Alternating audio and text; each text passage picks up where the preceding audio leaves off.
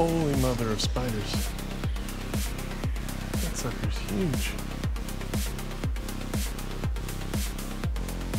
I read an article about those this last week. They said that they're just encroaching and those things can move.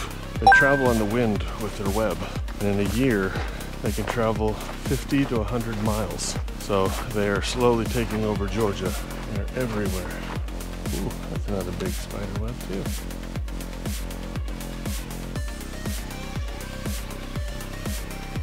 He's a big one. At least a big web. He wasn't particularly big. The first one was enormous. First one's body was probably the size of my pinky. Holy spider. That sucker is huge. He's a big boy. Big girl.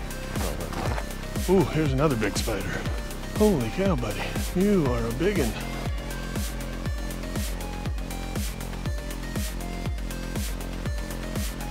The male and female. I think that's a girl. The male's the tiny one there. She's enormous. Back to that article about those big gigantic spiders.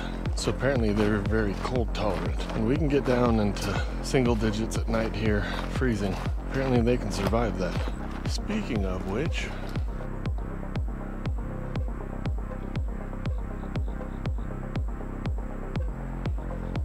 that sucker's huge.